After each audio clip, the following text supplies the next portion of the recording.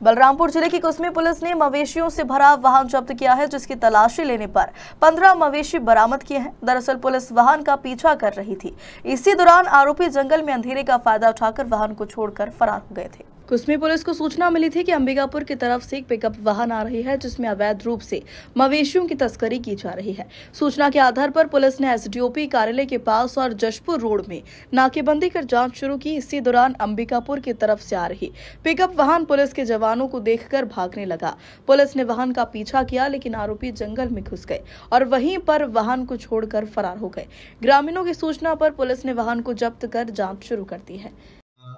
उनतीस और तीस तारीख की दरमियानी रात को हमें रात में सूचना मिली कि एक पिकअप वाहन जो कि अंबिकापुर साइड से बहुत तेज़ी से कुसमी की तरफ़ आ रही है, जिसमें कुछ संदिग्ध सामान या पशु होने की आशंका पर हमारे पुलिस पार्टी द्वारा तत्काल हरकत में आकर हमारे रात्रि गश्त पार्टी को लेकर एस कार्यालय के सामने एवं जसपुर रोड में नाकेबंदी की कार्रवाई की गई।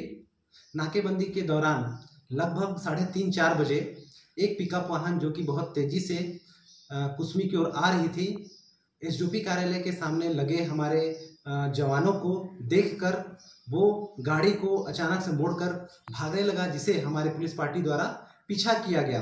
पीछा करते हुए देखकर वाहन चालक अपने वाहन को जंगल की ओर ले गया और चूँकि बहुत तेज़ी से वो भाग रहा था और अंधेरे का फ़ायदा उठाते हुए वो लाइट कहीं पे बंद करके, बंद कर दिया था, जिसके कारण हमारे जवान जो है उसको खोजते रहे, परंतु उस समय नहीं मिला चूँकि हमारे एरिया में ही होने की हमको संभावना थी, इसलिए हमने गाड़ी वाले को कहीं भी संदिग्ध वाहन को न भाग पाए या आरोपी न भाग पाए, इसलिए हम लगातार रात भर गश्त करते रहे प्लस गश्त करने के साथ साथ हमारा जसपुर रोड और एसडीपी कार्यालय के पास में लगातार नाकेबंदी चलती रही। उसी का नतीजा ये हुआ कि सवेरे हमको सूचना मिली, सिविल दाग से सूचना मिली कि एक वाहन लावारिस हालत में गाँव में पड़ा हुआ है, जिसमें तिरपाल ढका है, जिसके अंदर में लगभग पंद्रह पशु रखे हुए हैं।